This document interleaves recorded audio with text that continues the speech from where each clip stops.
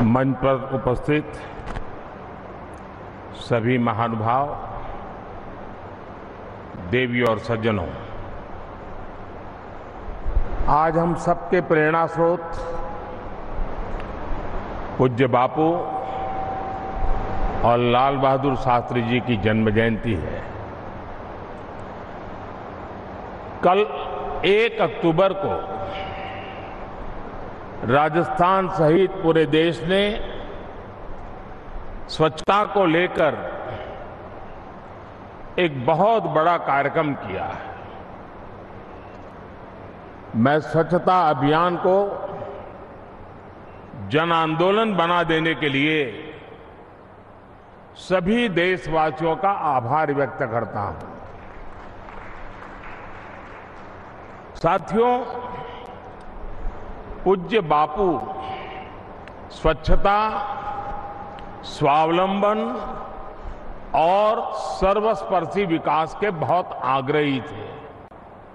बीते नौ वर्षों में बापू के इन्हीं मूल्यों को देश ने बहुत अधिक विस्तार दिया है। आज चित्तौड़गढ़ में 7,200 करोड़ रुपए के जिन प्रोजेक्ट का शुभारंभ हुआ है उसमें भी इसका प्रतिबिंब है। साथियों, गैस बेस्ड इकोनॉमी का आधार मज़बूत करने के लिए देश में गैस पाइपलाइन नेटवर्क बिछाने का अभूतपूर्व अभियान चल रहा है। महसाना से भटिंडा तक की गैस पाइपलाइन बिछाई जा रही है। इस पाइपलाइन से पाली हनुमानगढ़ सेक्शन का आज लोकार्पण किया गया है। इससे राजस्थान में इंडस्ट्री का विस्तार होगा। हज़ारों नए रोज़गार बनेंगे। इससे बहनों के किचन में पाइप से सस्ती गैस पहुँचाने का हमारा अभियान भी तेज होगा।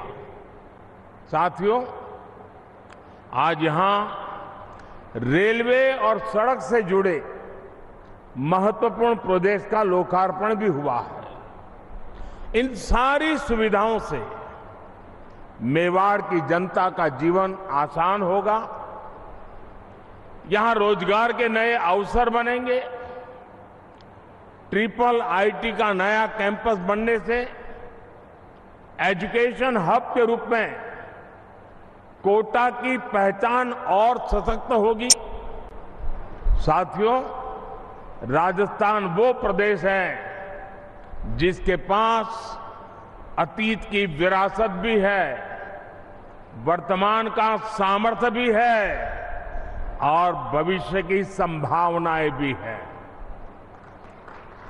राजस्थान की ये त्रिशक्ति देश का सामर्थ्य भी बढ़ाती है। अभी यहाँ नाथ द्वारा टूरिस्ट इंटरप्रिटेशन एवं कल्चरल सेंटर का लोकार्पण हुआ है। ये जयपुर में गोविंद देव जी मंदिर, सीकर में खाटू श्याम मंदिर और राजसमंद में नाथ द्वारा के पर्यटन सर्किट का हिस्सा है। इससे राजस्थान का गौरव भी बढ़ेगा और पर्यटन उद्योग को भी बहुत लाभ होगा। साथियों, चित्तौड़गढ़ के पास भगवान कृष्ण को समर्पित सांवलिया सेठ मंदिर भी हम सभी की आस्था का केंद्र है। हर साल यहाँ लाखों श्रद्धालु सावरिया सेठ जी के दर्शन के लिए आते हैं। व्यापारियों के बीच भी इस मंदिर का विशेष महत्व है। भारत सरकार ने स्वदेश दर्शन योजना के तहत सांवलिया जी के मंदिर में आधुनिक सुविधाओं को जोड़ने का काम किया है। करोड़ों रुपए खर्च करके यहाँ water laser show, tourist facility centre MP theatre cafeteria जैसी अनेक सुविधाएँ बनाई गई है। मुझे विश्वास है कि इससे सांवलिया सेठ के भक्तों की सहूलियत और बढ़ेगी। साथियों, राजस्थान का विकास भारत सरकार के लिए बहुत बड़ी प्राथमिकता है। हमने राजस्थान में एक्सप्रेस वे, हाईवे और रेलवे जैसे आधुनिक इंफ्रास्ट्रक्चर पर बहुत फोकस किया। है दिल्ली मुंबई एक्सप्रेसवे हो या अमृतसर जामनगर एक्सप्रेसवे ये राजस्थान में लॉजिस्टिक्स से जुड़े सेक्टर को नई शक्ति देने वाले हैं। अभी कुछ दिन पहले ही उदयपुर, जयपुर, वंदे भारत ट्रेन भी शुरू हुई है। राजस्थान, भारतमाला परियोजना के सबसे बड़े लाभार्थियों से में भी एक महत्वपूर्ण राज्य है। साथियों, राजस्थान का इतिहास हमें सिखाता है कि हमें वीरता, वैभव और विकास को एक साथ लेकर आगे बढ़ना चाहिए।